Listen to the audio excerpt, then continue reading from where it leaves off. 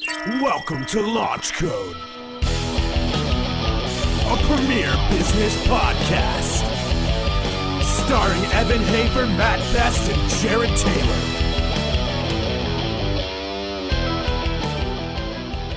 Hey, hey, welcome back to Launch Code, the premier business podcast. Today we are in our San Antonio studio, finally settled down, and we can start running guests through and having call ins and everything like that. But we're kicking this one off with a local friend of ours that's been here for a few years, uh, Mr. Michael Mihil- Mihilski. Close. Close. Give me, give me that one. Uh, Mihalski. Mihalski. yeah. Mike Mihalski. And now we've known you for almost four years now. Yeah, from just about the beginning then. and uh, and that is when you started Sons of Liberty Gunworks, That's right. which is located in South San Antonio, Texas. Um, so, Mike, let's talk real quick about your history in the military. Upon, uh, I'm sorry, not the military, but No, I'm uh, civilian history, man. history in uh, firearms. Like, like because I know you started as just a super into building and mechanics of it. You know, Right. got into dug deep in the books, deep into the science, and you know where did that where did that take you to the point of saying you know i can i can open a gun shop and i can create my own guns Yeah, I think everybody in the in the firearms industry were end users, you know, first, right? People have a passion for shooting. That's that's kind of my story. I've I've always loved firearms. I mean, ever since I was a, a kid, and I've owned just about every kind of weapon you can imagine. And on every one of those, I there was always something I would have tweaked or done a little bit different. And I also looked at the gun industry as a kind of the direction that it was going and I thought, you know, I thought we could actually improve some stuff. I I didn't want to come on the scene to be new just for the sake of being new. I actually wanted to improve the platform and contribute to that. And that's kind of how we got started. now so before before you guys you know before you even choose a name and come up with a shop like were you gunsmithing for your buddies and like like like is that is that kind of how this went down Yeah, so I, I took an armorer's uh, school, and, and I, I took the little bit of information I got from there, and then it really kind of snowballed. The more and more research, and I started looking at this rifle almost in a clinical way, you know. And so I started building rifles on my kitchen table. Uh, the first twenty rifles I built were for a couple of team guys, a couple of Marines, you know. And it started to it started to really pick up momentum. Guys were pretty happy with the work I was doing until uh, I got a call from the ATF, and uh, they told me pretty much to either get a license or shut down. I got like Stop a slap- building guns. Stop building guns in your. I well, I shipped fifty rifles to the state of Alaska in one month, and so they're just like why why is this guy doing this yeah, I mean. I mean that's that's a lot of rifles to one state in one month, even for you know a company, much less a guy, you know, tinkering on his coffee table. yeah Yeah. And uh, so from there, like like you like you said, you and I talking before the show, you're like, I knew a lot about guns. I didn't know anything about business. So Oh, God, yeah. from that point, you know, after getting that notification from the ATF, like, were you just like pick up the Business for Dummies book and like let's let's see where this goes, or where do you go from there? Well, the the coffee table that I was building guns on, I lost the coffee table. I, I was uh, living with this girl, and she ended up kicking me out, and some Elmer Fudd looking motherfucker moved in. Anyway, so I was in a pretty low spot, man. Um, and I'd gone out to visit my brother out in California. He's a team guy, and uh, he's he's looking at me like this pathetic mess. He's like, "Dude, you need to go and start a gun company. Like, you need to go do this." And so he actually helped me come up with the name Sons Liberty. Obviously, the theme, you know, patriotism, two A, all that kind of good stuff. And I came back home. It was kind of a serendipitous. I met my business partner through a mutual friend. He wanted to. I didn't. I didn't know him at all at the time. We kind of met randomly through a friend, and he had a lot of workspace. He had about twenty thousand square feet of unused space that he was willing to put up for free, um, you know, to to help get this thing started. So that was a super lucky. Oh my God! Yes, I mean yeah, that's that's a just to have being able to, to to walk into a location, you know, not worrying about you know a five year lease or Yeah. you know, am I gonna am I gonna generate enough revenue to pay for this thing? So I mean that's that's amazing. And so did he come in monetarily as well? Um, honestly, he his vision for this thing, I think, was more of a hobby. You know, he wanted to kind of get into the gun business as more of a kind of a hobby way to enhance our own collections and stuff like that. Yeah. I wanted to be the best rifle company in the country, and I mean, I, I don't think he, I don't think he took me very seriously at first. So he did put a little bit of money in. I actually sold my vehicle, and after I paid off these some, these are the part these these these are stories everybody's got to hear. Yeah. Like because this is this is what real business comes down to in the beginning. I sold my truck, dude, and I after I paid off some debts, I had about seven thousand dollars to my name, and I sunk it all into, you know, parts. parts, you know, and that's that's how we started. And we started with seven thousand dollars three and a half years ago, and you know we're we're doing multi million dollar years. that's you know, that's amazing. yeah. Uh, and how many employees do you have? Uh, we have eleven full time guys right now. Uh, all of them are Most of them are all veterans. all of them, yeah, pretty much all of them are veterans, with the exception of the first guy we That hired. But awesome. uh, he's like the Rain Man of guns. He's a savant. You know? Very nice guy. You've even nice got guy. like international veterans working there. oh yeah, yeah. Scotty, yeah, yeah. That guy uses the word like cunt as a comma. Man, he's great. So you sell your truck, you buy parts. Uh, you know where where are you at when it comes to okay, how am I going to turn these into finished rifles, and how am I going to find customers to buy these? So here's a great story about when we started. So that there's a certain bolt that we use in our gun for our bolt carrier groups, and there was only one bolt that I was going to use. If I could not get that bolt, I would have not started the gun company. Okay, because that's how critical it was to me. so I called the the machine company that that OEMs these. I called the vice president of that company every day for about 30 days straight until he finally picked up the phone to talk to me. Now their minimum order was 500 pieces, and I there's no way in hell I could afford that. All right, but I called him and harassed him so much. He finally asked me like, "How the fuck do I make you go away? Like, will you promise never to call me again?" you know? And I'm like, "Yeah." So how many do you want? I'm like, "I need 10."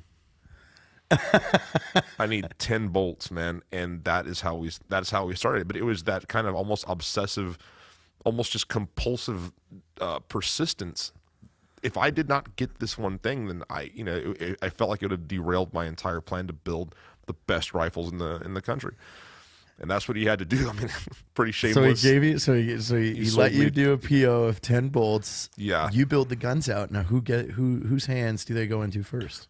uh, like I said, some of the, you know, again with Sons of Liberty, we had a couple team guys, a couple of, uh, you know, shooting instructors, like some pretty big name people that helped us like have almost instant legitimacy when you have those kinds of guys supporting the brand. Yeah, It's like Tiger Woods, you know, suggesting a putter, you listen, you know? yeah, absolutely, Yeah. absolutely.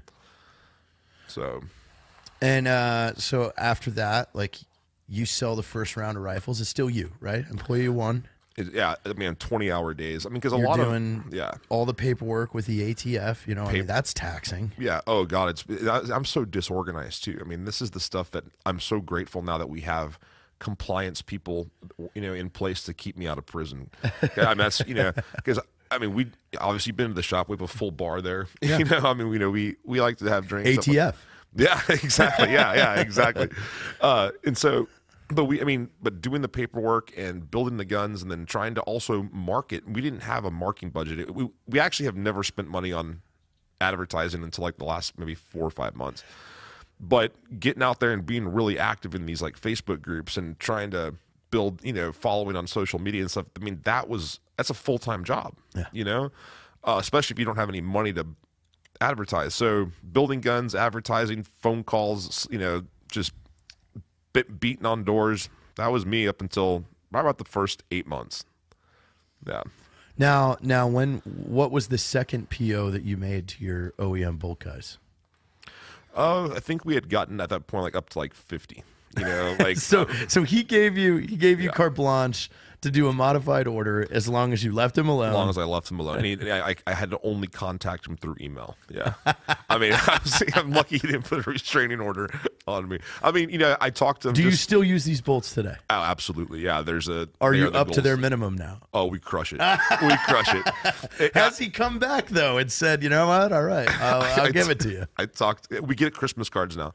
He sends us uh, the the Christmas card, you know. And I talked to him about a week ago, and we were kind of laughing about that. I'm like, hey, dude, thanks for thanks for taking that shot on us because now, you know, we we crush it. Yeah. Yeah. No, that's amazing. Um, so going into your second year, you know, now you have things established. You have your workspace. When do you hire your first employee and why? What what was the reason behind it? So Dylan was our first employee, and uh, this is this is the Rain Man, and uh, he just kind of showed up one day and he just wouldn't leave. You know, and There's he- always those guys in a gun shop. yeah, I mean, yeah, he, he just would show up one day and he wouldn't leave. And Hey, like, you want me to sweep? Like, sure, if you're gonna be here. That's exactly. Well, remember, I didn't have a car. You know, Yeah. I had sold my. So this, so my first employee actually, his job was to pick me up and take me home from work. That's man. awesome. You know, uh, but super meticulous in his work, and you know, a weird fucking guy, dude. But he's just he truly believes in the cause, man, and and so he was our first employee, and that took a lot of pressure off. So as here's the thing, see, for us, I can teach somebody how to build a weapon to the Sons of Liberty standard, right? Yeah. But I can't teach someone how to be a cool guy. Yeah. So we hire basically, I don't want any experience per se with that stuff. What I want is like the right personality, humor, you know, attitude, mindset. Because you're gonna be standing in, next to him in a bay all day. Exactly, man. I mean, and you have to have, you know, it's kind of a twisted sense of humor and a little thick skin. And I mean, and you can't teach that to somebody, right? That's why veterans do so well with us because they, they're coming to the table kind of already You're giving me an idea. I think me and Dave need to go down there and, and we do a video where you make me build a gun. Dude, that'd be awesome. I'd, I'd be honored, man. Oh yeah, yeah. We're putting that on the board, Dave. That'd be build a gun man. at Sons of Liberty because we're going to a lot more video content with this stuff now. We've got to make it interesting, and I want to learn. I want to learn and see the process of what what is the Sons of Liberty standard. You know, walk us through it right now. So, I mean, obviously, you know, the first part would be like materials, right? Mm-hmm. There, there, there is a difference. There's a quantifiable difference, and you know, cosmetically, a lot of these things all look the same. But when you really start to get under the hood and you really start seeing what's going on, uh, those materials are going to make a difference. Uh, bolt steel, extractor type, spring type, you know, uh, buffer weights, gas port sizes, dimpling, all, all those all those tiny minutia they don't look cool on instagram that's not something you can't take a picture of your gas port size and post it right so nobody gives a shit and they overlook stuff like that but when you need to count on that weapon through some sort of sustained string of fire that gas port is what's going to either push that rifle a little bit further or the thing just kind of Folds up. folds up, stops function. Same thing with buffer weights. You know, uh, that's the kind of stuff that is not sexy, but our rifles work. I mean, there's, I mean, they just work. They're sledgehammers. You know, that's why we've grown. So that's amazing. So Dylan, your first employee, did he come from a weapons building background, or was he just was he someone as you started to teach, kind of got the concept and started to innovate? He had an interest in weapons, but not. Uh, but he had no real weapon experience. I mean, so yeah, when we brought him on, I was really impressed with how quickly he learned, and then how he actually improved. I mean, he his work was cleaner than mine. Like staking a castle nut, like I, it looks like a caveman went in there and beat some shit right when I do it. But with him, it was very clean. And I could tell, like, okay, that's that's good for the brand. You know, Yeah. like yeah, You fucking detail is on point. exactly, yeah. So rolling into year two, uh, at what point is it like, okay, this is no longer just me and Dylan's show? So obviously, you know, Kyle, my business partner, he's a he's very very organized and he has an experience with like retail and stuff. So without him, none of this would have happened. But this thing turned into a business probably around this going into the second year whenever it wasn't just your friends anymore buying your product. You know, you Now it's people were, are saying, "Hey, I've heard such good things. I need one of these." it was all word of mouth. And what's neat is that you're getting orders from cities you've never been to, and states you've never been to. You know, You know, I've heard the same thing. When Dan, when Daniel from Grunt Style came on the show, he was like, he was like, I celebrated the first time an order came in from somebody that wasn't my family or That's wasn't exactly a right. friend that I was begging to buy something. That it was a random person that was just interested in the product. I, I still have the order printed on my desk, the very first rifle we sold online. That wasn't someone walking into the store, wasn't someone that you met at a shooting event or so- somebody randomly logged onto our site gave us their money. You know, and believed in us, dude. Yeah. You know, I mean I and, super cool. And that was like a milestone. That's whenever I really knew, okay, this thing's this thing's actually happening, you know. And then after that, man, it's kind of like those milestones take forever to achieve, but once you hit it, it kind of it accelerates. It hap- things start happening very quickly. You know. And and and even to this day, like I know, you know, you as the president CEO of the company, you're still actively making appearances at all types of shooting events and trade shows and everything like you know like you like we were talking about like with your brand you're approachable That's exactly. Yeah, we want. I hope we always maintain that accessibility. I mean, I publish my personal cell phone number on Facebook groups, and I mean, it's on our website. Yeah. I still really like talking to shooters. I still like helping people. You know, find solutions to whatever they're trying to solve. Um, and it's important to get like that that FaceTime and to actually meet people. Like when we go to Shot Show, a lot of people want to go hang out with like the industry giants, right? You know, yeah, I still see like even some of my employees and stuff that have like that that starstruck. They want to go hang out with Marty Daniel, or they want to go hang out. For me, Marty Daniel's never going to buy a rifle from me, man. You know, Yeah. and I'm not I'm not going to buy one of his either. I want to hang out with shooters. I want to hang out with guys that are that are shooting. That's that's our people, man. You you know, want to hear what their problems are yeah, and, and hear what they like, how you know, get just get feedback and and take that stuff seriously. I mean, you know, never be above scrutiny and take good advice.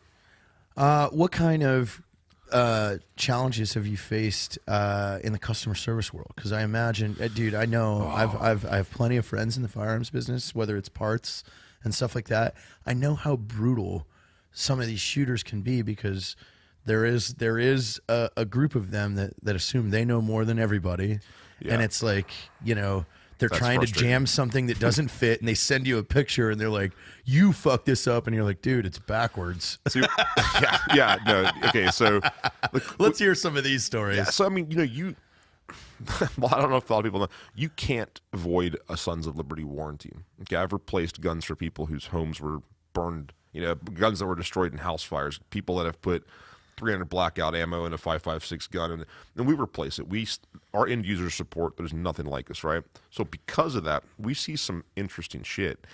Uh, one, one of the uh, see like one of you know every like every bolt carrier group that we sell is full auto test fired after assembly. We test fire everything, and I'll get guys that have called me and you know complain like, "Hey, this thing's been used." I'm like, "Yeah, it's." Yeah, I needed to make sure that you Yeah. that you got a gun that worked, bro. And, and every once in a while, we get the, and dude, I have no problem telling them, hey, man, we're probably not the company for you. You know, I'll send you a return label, you know, keep the hat. And, you know, and, and, you know, we're probably, but I mean, If that's what your complaint is, like, yeah, you know, and then, and then other, you know, a lot of people are used to, you know, I want to be able to shoot, you know, a one inch group at a thousand yards, uh, you know, and I want it to do this and this and this and this. like- and I've got 500 bucks. I'm like, well, it was like, you know, you just like, you want Ferrari performance and you got like, you know, you go budget, man. I mean, there, it doesn't work. That's a little bit of a hurdle trying to explain to people why. Are you building bolt guns? better. We ha- we actually uh, once a year we'll release about 10. I think this year we're going to release 20 dude, I kind of want a bolt gun. Dude, I, that's my passion, man. ever since uh, ever since Chase Stroud and Applied Ballistics, they got me out to hit at two miles on my Oh. second round. Dude, that will. What caliber? Uh, it's called 375 lethal. Wow, Oh, dude, it's an eight and a half second time of flight. jeez. That will. That's contagious. That gets in your blood, man. And yeah, bolt guns are. That's kind of my what I do when I'm not at work. I you might, know. I might be hitting you up as soon as I get a Texas driver's license. Uh, I, I need I need a bolt gun in my life. yeah, we'll get you hooked up, man. So yeah, I, I I've I've heard the horror stories of customer service in the firearms industry. It's just a nightmare. But you guys sound like you have you know quite a program going over there. You have a freaking lifetime warranty on your. forever yeah i mean you, you, you, you know and, and that's but but having that kind of having that kind of thing in place it gives you a lot of confidence whenever you're dealing with somebody. Because i know how insane our qc is. I know that it's assembled test fired inspected test fired. You know there's there's three sets of eyes on that weapon before it ships. So whenever it gets to i've had people call me and they're assholes and they call me like hey man this gun didn't come with the bolt carrier group. I'm like if you understood what went into every gun before it leaves, you'd understand how impossible that is. And it kind of gives because like you know you're never supposed to call a customer a liar up until you know they're fucking lying. Yeah. You know, and I'm like I'm like you you know just you know, I mean sometimes it's simpler and it's easier just to let them roll with it. But I'll let them know I I know that you know that I know you're full of shit. you know? But I imagine though that this loyalty program you have going on, it it's turning your customers into multi customers. Oh, How yeah, many man. of your customers are say are so happy with your first product? They're like, I want more of them. Dude, absolutely, man. In like police departments, if a Sons Liberty rifle is used in an officer-involved shooting, we replace the gun while it goes to evidence. That's amazing. Because I was teaching armorers courses and I was talking to sh- like sh- cops all over the country, and I'd see the pieces of shit that they were carrying. I'm like, why would you stake your life on this? And they're like, well, if I have to use it, I'm going to lose it. And after hearing that about 10 times, I decided, hey, man, go ahead and buy a Sons Liberty rifle, and if you have to use it, I'll replace it. Optic suppressor, light, whatever, whatever configuration you purchase it in, that's how I'm going to send it back to you, man. Unfortunately, it's happened a few times. I've had to replace a few guns. Yeah, Well, um, are you guys manufacturing suppressors, or are you partnered with a, a I'm suppressor? Yeah, I'm we're partnered pretty tight with Dead Air, man. That's Okay. a that can matches our rifle really well. It's just overbuilt. It's tough, man. Who's Dead Air? Now I've, I've heard of them. I, I'm pretty sure I might be friends with them. Who is it? Uh, Mike Pappas, Gary. oh, Mike Hughes. Pappas. There we go. Yeah, I know Mike Pappas. He's, he's brilliant, Freaking man. hilarious, dude. He's a he's a nut. Dude, I love that guy. an old video on YouTube uh, that I filmed. I wasn't in the video, but we were interviewing Mike Mike Pappas in like 2012, and it was, dude, he's so funny. Is it dry? Like, it's well, uh, there's a helicopter out back. I mean, I think it's under the shed. I don't know. like, you're like, what are you talking about? He goes, oh, I just thought somebody asked for a helicopter ride. That's dude. That's act- wow. That's actually pretty spot on, man. He, uh, you know, he has a he, he drives his tank around. You know, he has a tank and like he cruises around. I'm like, that's that's so. Then he'll look at you and smile. Are you gonna wear a jacket? And you're like, Mike, what the fuck are you talking about right now? He goes, exactly. Oh, he's he's the best, man. And he's he's brilliant. He's fun. Like, and he is like the he is the quintessential gun industry person, Well, man. dude, you know? he was he was part of Silencer Co. and Yeah. SWR. uh, That's what it was called, right? SWR. Or what was when they merged? They bought Silencer Co. Bought. Uh, That's right. I, f- I forget yeah. the name, but yeah, you, but that's exactly you right. know, it's kind of sad. He got pushed out of that whole thing. And, and he came back and kicked kicked Yeah. him in the nuts by building a better suppressor, better Well, mount. he was he's a fucking Rain Man genius. yeah, he's a yeah, exactly. yeah, if you met him on the street, creepier than shit. You don't know what he's talking about. hey, do you have an extra bag? Like, what the fuck is going on right now?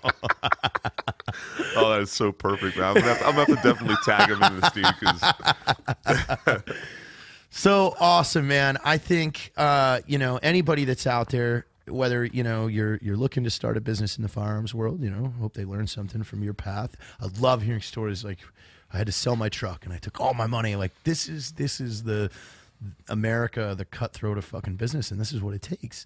And the fact that your first employee's job was to give you a ride to work and take you home. I mean, that's amazing. So if you're looking for a rifle that comes with a lifetime guarantee, where can they find it?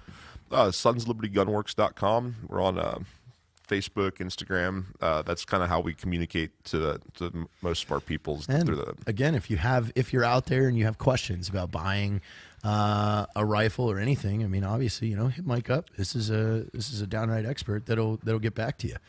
Yeah, Um, my phone number is up everywhere, man. I, I legitimately love talking about guns, talking to shooters, man. That's awesome. Well, thanks for joining us, Mike. Um, you know, we look forward to doing the video special where I go and build a gun for a day. Oh, I would love it, man. It'd be Uh, awesome. I think that'll be a good time. Ladies and gentlemen, this is Launch Code.